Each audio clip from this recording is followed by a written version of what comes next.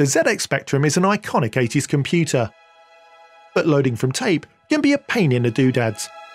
There are devices to speed up loading, like DivMMCs and a variety of guises. But we're going to take a different route and build the Dandanator Mini 2.1 by Dandare. Right now. Mark fixes stuff. This video is sponsored by PCBWay. You can get an instant quote on a variety of services, or browse a library of talented makers' designs, add them to your cart, and have them delivered directly to your door. The Dandanator Mini is an easy to build flash RAM interface for the ZX Spectrum. It requires the following components a 1N4148 Zener diode, two 1 kiloohm 5% 1 quarter watt resistors, five 100 nanofarad capacitors, three assorted sockets, which will fill with these three chips, a PIC 16F1826,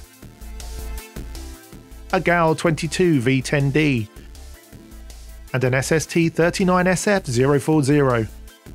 We'll need a DB9 socket for joystick support, a pair of tactile switches and two header pins. A suitable edge connector for the Spectrum. This one's too large and will need to be modified for the board. Let's build it. First, we'll need to clean the board with isopropyl alcohol. This will remove any grease, grit or grime that might hinder our soldering.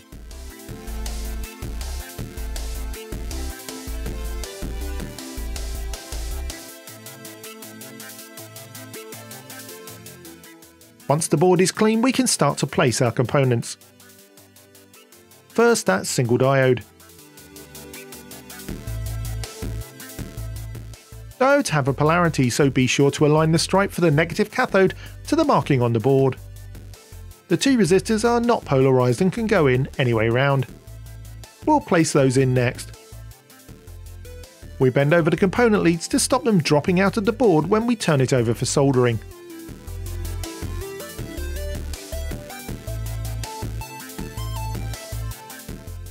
With these in place, we can do our first spot of soldering. The iron is set to 330 degrees Celsius, my usual working temperature. I'm using my all-purpose 3.5mm chisel tip on this project. It allows me to easily make contact with the board and the component leg at the same time. It's good practice to apply the solder to the heated joint where the component and board meet, rather than the tip of the iron. That being said, a small amount of solder on the soldering tip can aid heat transfer to the component and the board as well. It's a balancing act. With the soldering done, we clip off the remaining leads. Always being careful not to apply too much mechanical stress to the new joints whilst pulling or clipping.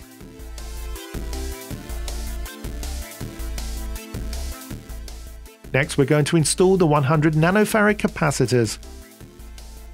But there's a problem. You see, when I insert them into the board like this, I realise that I've ordered the wrong size and they won't fit as is. Luckily, with a bit of persuasion, we can remove a small amount of the ceramic coating, making the leads fit into the board. That should do it. Don't hate me, YouTube.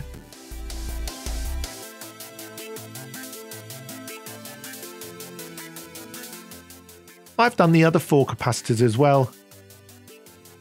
I'll insert them into the board whilst hiding my embarrassed face.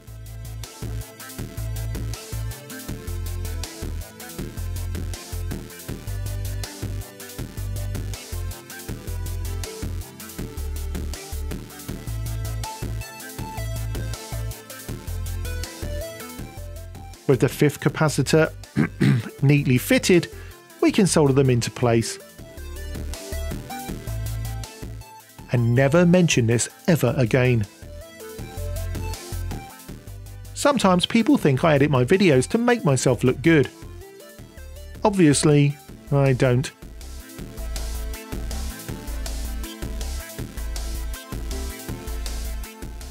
Right, let's move on to getting the sockets installed. First the one for the PIC microcontroller.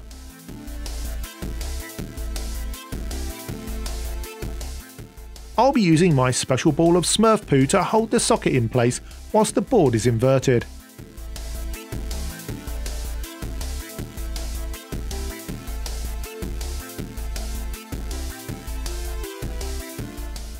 Soldering a socket is pretty simple stuff, but you do need to try and limit the amount of time you hold the iron on the pin. This is called dwell time. If you dwell on a pin too long, you'll start to melt the socket.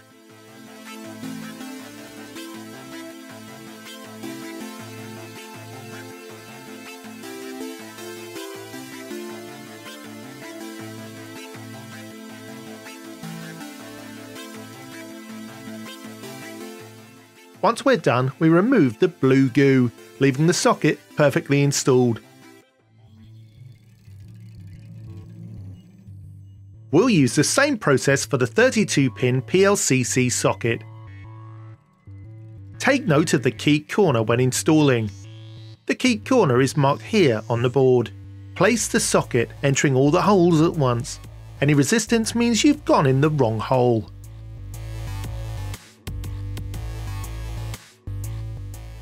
When soldering these sockets, it's easy to lose track of where you've been.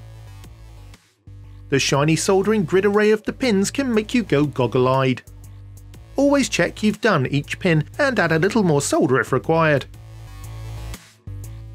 Removing the Smurf dung, the 32-pin PLCC socket looks good to go. Now the 24-pin GAL socket.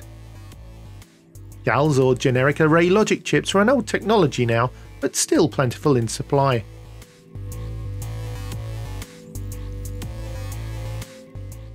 I'll speed up the soldering from now on.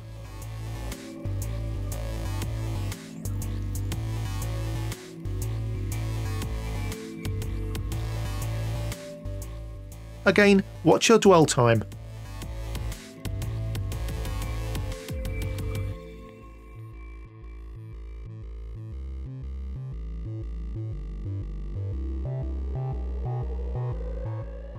Great. Next, these two jumpers. Actually, this one is really a serial programming header. The left pin is ground and the right pin is TX, and you can use them for updating the flash RAM. They're breakouts of pins 4 and 8 respectively on the joystick board. This is simply a jumper to enable or disable the Kempston joystick interface.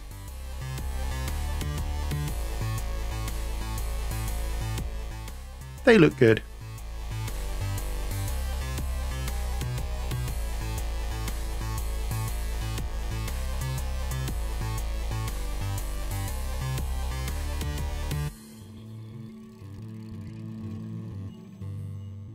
If the tack gets warm it can get a bit melty, so clean up by dabbing your area again.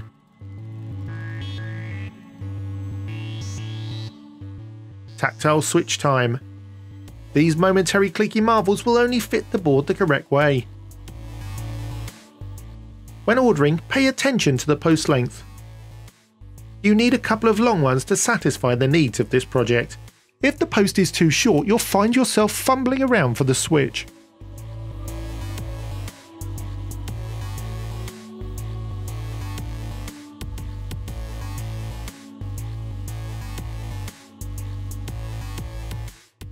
The Kempston port is provided by a standard DB9 socket. These are really easy to install and even have retaining clips that keep the port flush to the PCB. I fill the clip holes first, because this adds a lot of mechanical strength. On a joystick port that will have a lot of insertions, I tend to fill both the holes. On this one I didn't make good contact with the board, just the pins. I'll make sure to do better on this one and heat everything. That one looks a lot nicer. And I also reflowed the bodged one. Better, but still uggers. Soldering the pins is just standard stuff.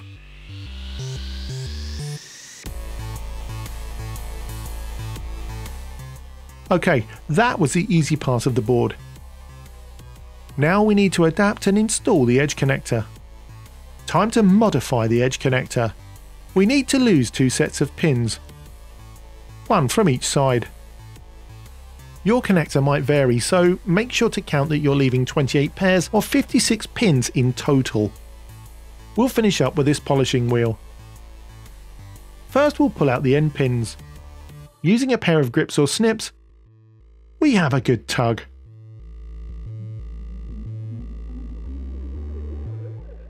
It leaves a perfect space to cut into afterwards. Do the same for the other end if you have a 60 pin connector like me. Now we can cut off both ends. I find the best method is to cut into the now evacuated pin apertures. Once you've cut into both sides you can simply pull your end off. Usually the material these are made of is relatively soft and easy to pare down. Use sharp snips and wear eye protection as the bits can ping up into your face.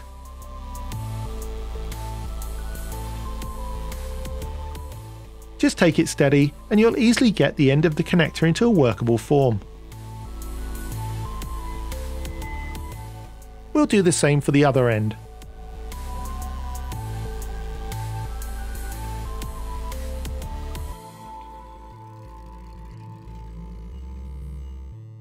With both ends trimmed, this would actually be enough to fit the Spectrum already. But why not use the power of Grindy McGrindface? The polishing wheel on this is very useful and I use it for a lot of restorations. It does create a lot of dust though so I'm wearing a face mask. It's basically a light abrasive but can go through plastic very quickly. I find it a lot less melty than a sander or a grinding wheel, but you can just use a file or a sanding block at home.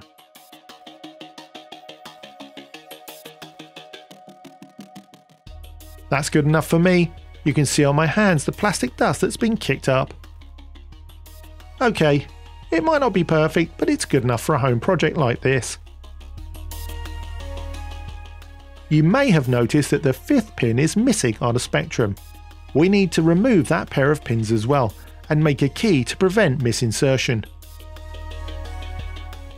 On this Div MMC by Zaxxon we can see a fancy metal pin, I don't have anything like that, so I'm going to use a piece of perf board glued into place.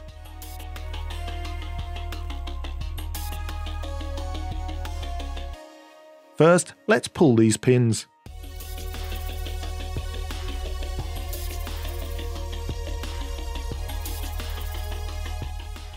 Get the right ones because these won't go back.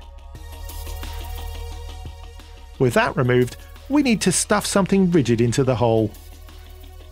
This perf board will do fine. It's easy to cut and quite solid. We'll fix it in with a bit of superglue. Job done.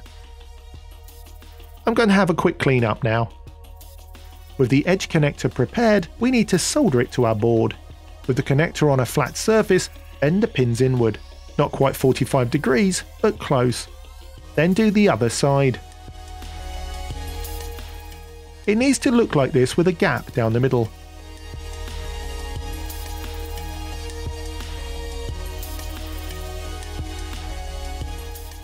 As you can see the pins won't slide onto the board from the front. You need to just hook them over the corner of the board and slide them down. Wiggling as you go will help the pins to slip on. Some of the pins may get a little bent, but don't worry, we can straighten them out afterwards.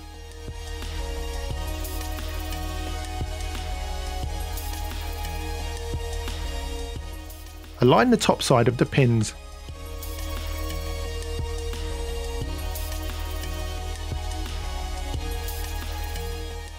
Then straighten any bent pins if needed. That looks pretty good, and the connector is held on by tension alone. Try to leave a small gap between the connector and the edge of the board, so we can straighten the connector as we solder if needed. I might change that key later, it looks a bit rough. Next we solder both ends on the top side of the interface only.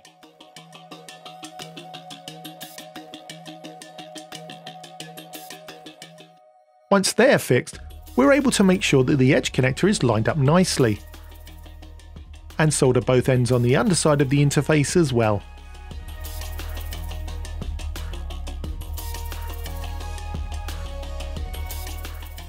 Once we're happy with the alignment, we can proceed to solder all the other edge connector pins into place.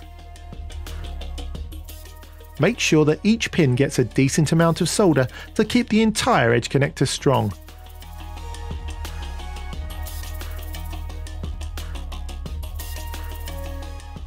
Then solder the underside. If you enjoy this video, please consider becoming a patron. Details at the link below. The connector is finished and physically rigid. And now the entire board is ready. All we have to do is program the chips we need and then we're good to go. First we'll program the 512K flash with the Mini Pro programmer. ROM sets are created with the utility from the Dandanator website. It's drag and drop, and you can even update the board using the PC connected to the ear socket of the Spectrum. Pretty handy, eh?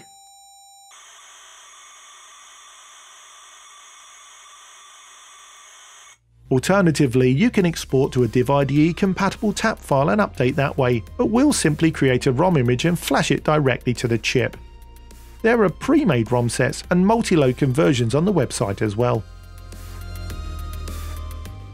Next we program the GAL. This is simply using the JED files hosted with the project.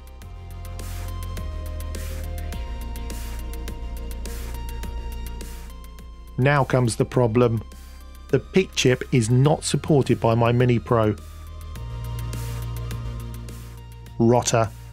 Instead, I had to buy this clone PIC programmer. I also got lazy and ordered a seat to make programming less of a hassle, but it's not required. The board markings show that the 18 pin PICs are placed here in this orientation.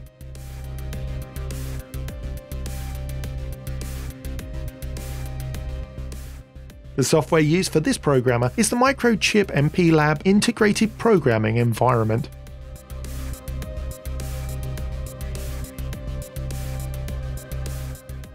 Once I'd ironed out a few newbie issues, including updating the firmware of the programmer, programming was easy using the files provided on the Dandanator website.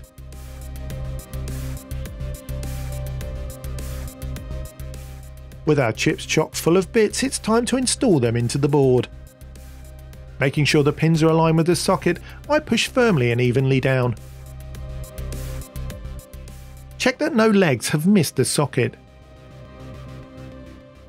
Same for the PIC microcontroller. The notch on both chips needs to match the socket and be towards the back of the interface. Finally, the flash RAM that we've pre-flashed with all of our content. It's simply a matter of pushing the chip into the PLCC socket whilst observing that the cut corners match. I'm excited to try this. The edge connector is new and a very snug fit. Popping in the power to the Spectrum and a composite cable, we flick the switch. And bingo, our Dandanator springs into life. Not bad for a first try. Although when I press the number buttons, nothing happens and it just redraws the menu. I resolve this by holding both buttons whilst powering on. This makes the Dandanator update the PIC firmware from the flash RAM. I'm not sure, but this seems to fix the problem. Maybe it updates the memory addresses for the flash.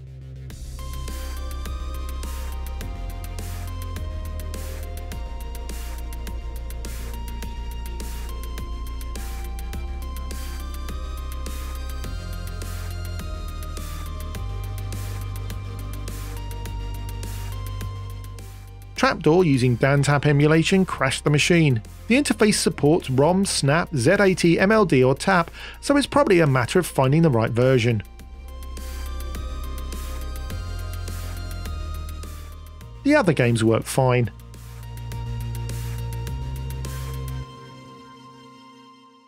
Yes, Dave. I know I put it on twice. But thanks for pointing that out. With the joystick jumper in place, the Kempston interface worked without any issues.